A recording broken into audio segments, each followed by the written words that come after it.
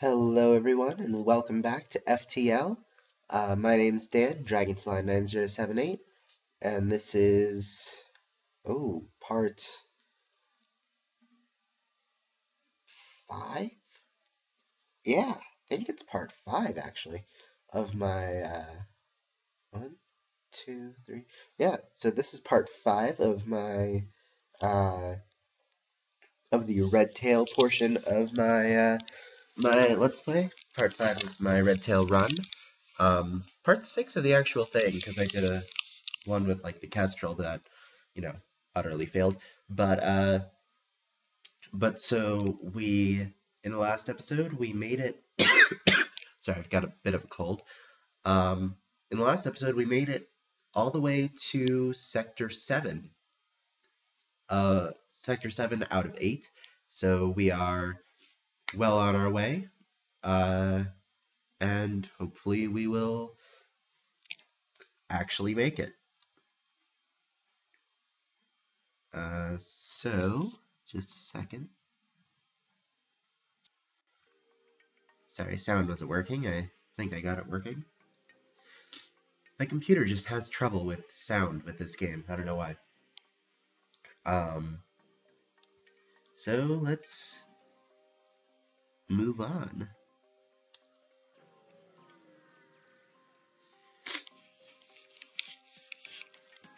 A rock ship. Except they're pirates. Except they are still rocks, so. Let's see. Um. Beam, teleporting bomb, and a burst laser. So, not overly problematic but I still don't want them to be able to hurt me, so. The teleporting bomb, I don't know what kind of bomb it is. Might be an ion bomb so that I can take out my shields or my weapons. Um,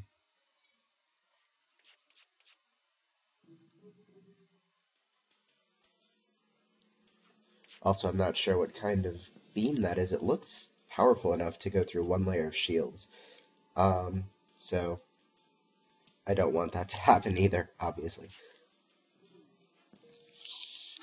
Okay, now that we've got their shields, or their weapons down a bit, let's focus more on the shields.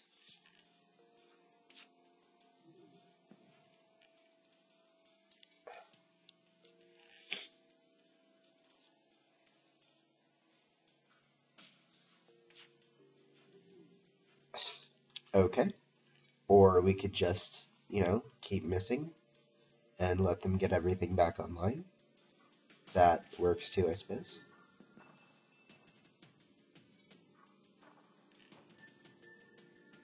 It doesn't really work. I was just being sarcastic. But I'm sure you all know that. You are smart people. Probably. I don't actually know you, but... Oh well. If it seems like I'm rambling, it's just because I really don't have anything to talk about at this point in the uh, in the run. Uh, I mean, it's a battle. You know how these work. I'm just shooting and hoping that I beat him. So, it's very... It is unfortunate, but it many battles will probably be like this. But he's gone, so that's okay. And I got a lot of scrap off him. That's good. Um, what do I have in the way of equipment? Okay. Alright, let's jump away. We have plenty of missiles. Oh, and there's a sun. I think this might be the first sun we've run into with the red tail. I'm pretty sure we hit a sun with the, with the kestrel.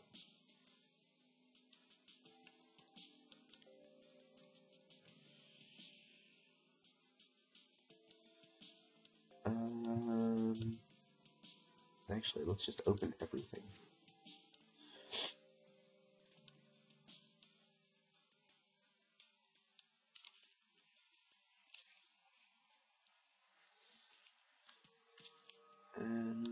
Close some of these doors.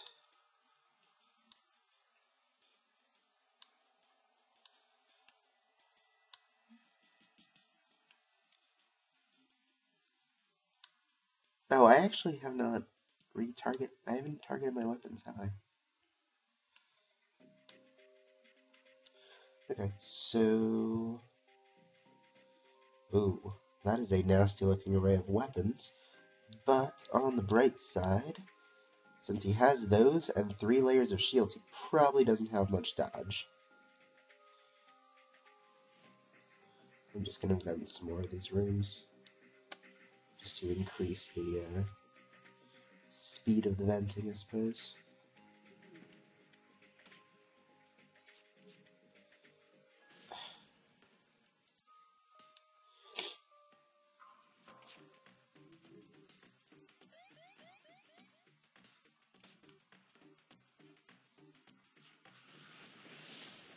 The doors.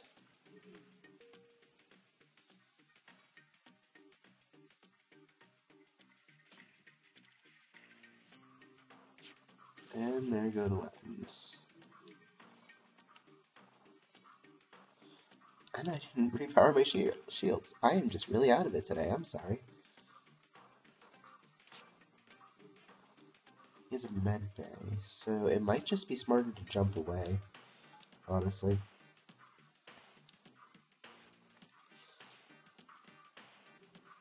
But I don't really want to, so I'm not going to.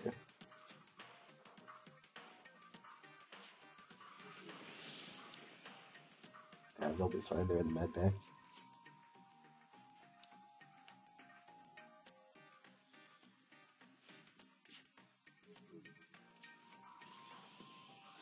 Oh, that's a breach. That's bad.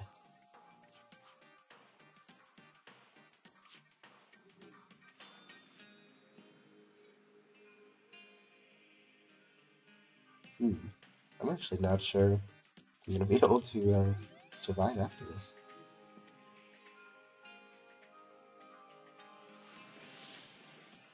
It's in the teleporter in this empty room, but that's fine.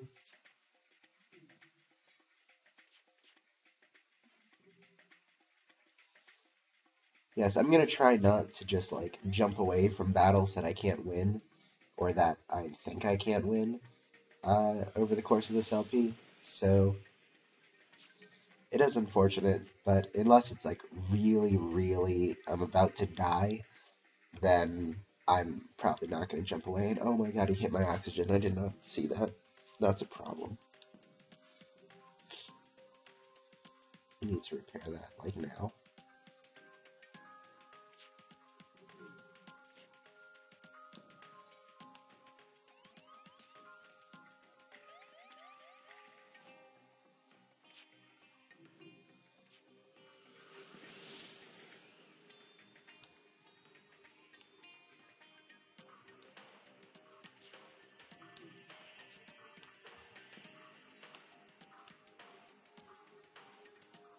Okay.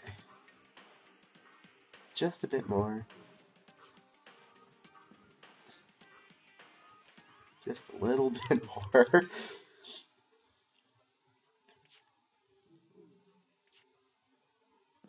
of course he resists it.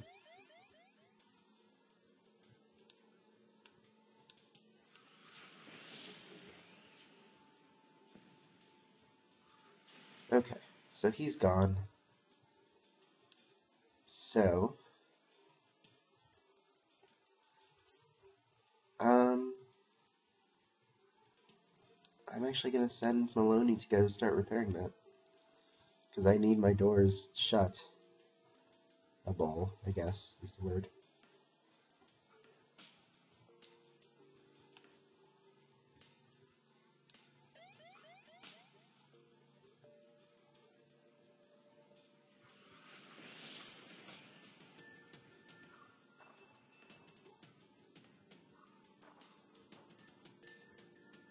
This is not gonna work. He's gonna die. God, they move way too slow. Okay, I gotta jump away. Let's jump away. Somewhere safe, hopefully. this is not safe. This is an asteroid field. I don't think I've ever seen that kind of shit before.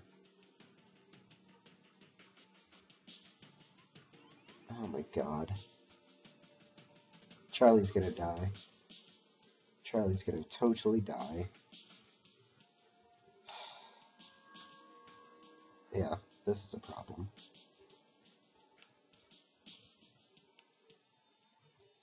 This is a major problem. Charlie's just gonna die from suffocation, I'm sure. Oh wow, he didn't. Awesome. And I can't even open that. Okay. Let's see. Oh god. Yeah, this is not gonna work. That's not even the right place. Uh, but I, I really don't think I've ever seen this kind of ship before. That's cool.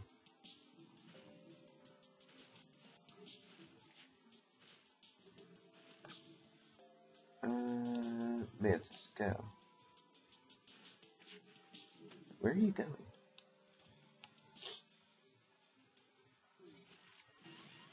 Jeez. Yep. Gonna totally die.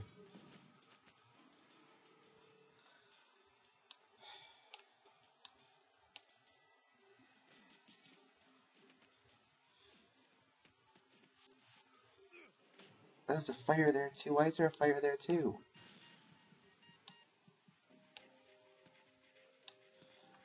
Jeez. This is all. Oh, that's why, because the fire can spread. My rooms are not airtight with the blast doors like they normally are. Oh wait, is the breach in my hull fixed? Oh my god, it is. Did I know that? Yes, I did. Shoot. That's not good. Okay.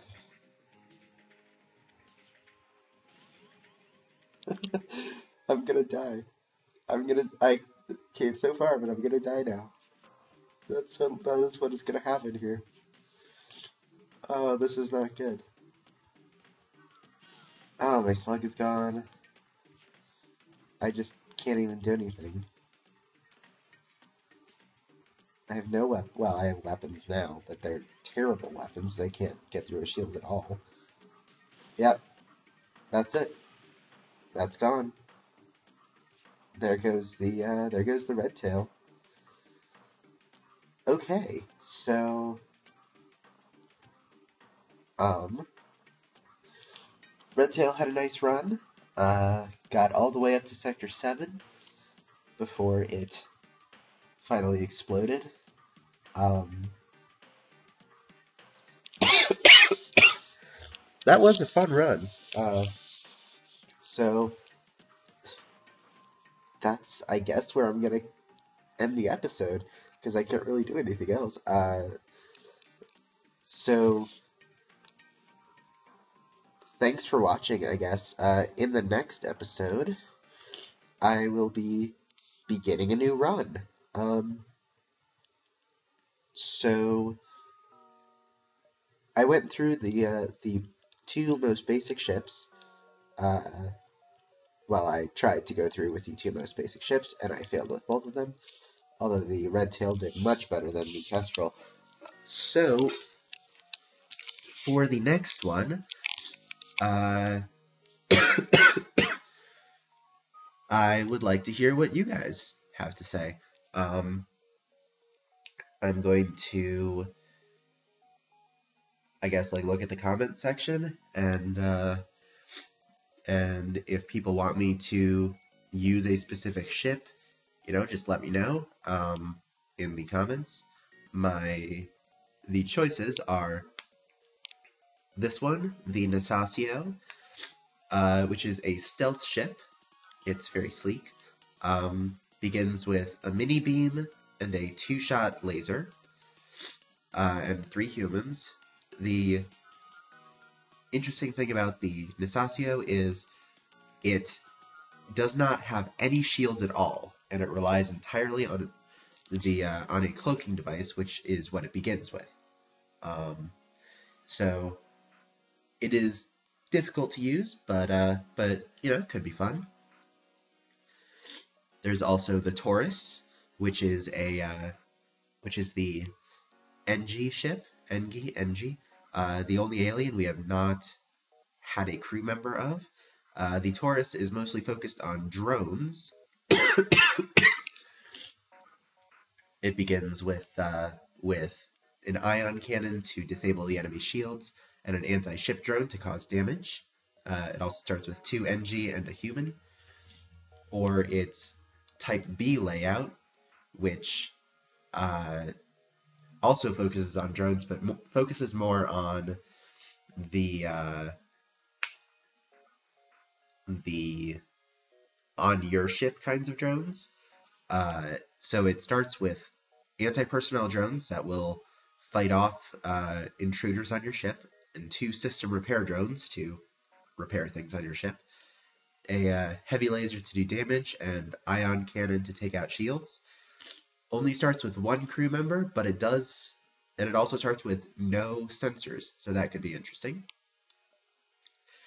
The Osprey uh, is the Federation ship. It only starts with one weapon, the Burst Laser 2, which is a three burst laser, a, three shot laser.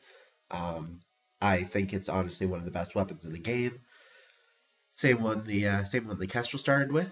Um, starts with a variety of people: uh, an Engi, a Mantis, a Rock, and a human. It the uh, cool thing about the Osprey and its uh, its other layout, the Nisos, are that they have their own beam weapon. They have an artillery beam uh, that fires automatically, pierces all shields, and is generally very powerful. The only problem is it takes a long time to charge up. So it can be a fun ship. Uh, the Nisos has less people, but it has a Zoltan and a Slug, which are what the uh, Osprey does not have. Um, it comes with a two-shot laser and a missile launcher, so does have a bit more, I guess, offensive power, along with a uh, a with the artillery beam. Uh, my personal favorite ship that I've unlocked is the Man of War. This one right here. It is the Slug ship. Starts with a two-shot laser, a breach bomb that will teleport onto your opponent's ship and open up breaches in the hull and, you know, hurt people and damage systems. Starts with two slugs. Uh, you know, they're telepathic, and because of that, uh, this ship does not really need sensors as long as you keep your slugs alive, so it doesn't have them. Uh, but the main interesting thing about this ship is its best weapon, the anti-bio beam. This weapon is incredible. It uh, it doesn't do any damage to the ship. It only does damage to uh, crew members. So what you do is you take out their shields with your lasers and your breach bomb, and then use the bio beam to just kill their people. Two hits from the anti-bio beam will kill anything except a rock, and the rock dies in three hits. So it's an incredibly powerful weapon. Can be a bit difficult to use because it doesn't pass through shields at all, um, but it's a very fun ship. Uh, it's Type B. I have actually not tried. It starts with three slugs, and I think it's more focused on boarding because it starts with a crew teleporter, but it does not have a med bay. so I think the idea is you can either use your missiles to hurt them, or you can use the teleporter to board and hurt them, and then use the other weapon, which is a teleporting bomb that doesn't do any damage but heals all of your people. So you can use that to uh, to heal your people in their ship or actually you can target your own ship with it so you can heal them in your ship. Um, I have never used the ship. I don't think it would go very well, but I could certainly try. Might be fun. Uh, the Adjudicator I have used not very often, but could be fun. Uh, it is the uh, the Zoltan ship that I've unlocked. It as such it starts with a Zoltan shield. Um, it has a missile launcher and a beam, and three Zoltan crew. So pretty uh, pretty self-explanatory. Um, yeah. Um, and those are the choices. So again, that's the Adjudicator, the Zoltan ship with the Zoltan shield, the Man of War, the Slug ship with the anti-bio beam, the Stormwalker, the Slug ship uh, with no medbay but with healing bombs and a teleporter, the Osprey, the uh, which is the Federation ship with the artillery beam uh, and a very diverse crew. Um, the Nisos with a slightly less diverse crew, but a better artillery beam and more weapons. The Torus, uh, which uses drones to attack. Uh, the Vortex, uh, the Engi ship that actually uses drones to defend uh, while using lasers to attack. Or the Nesasio, the stealth ship that has no shields but uh, relies on a cloaking device. So uh, just leave your uh, leave your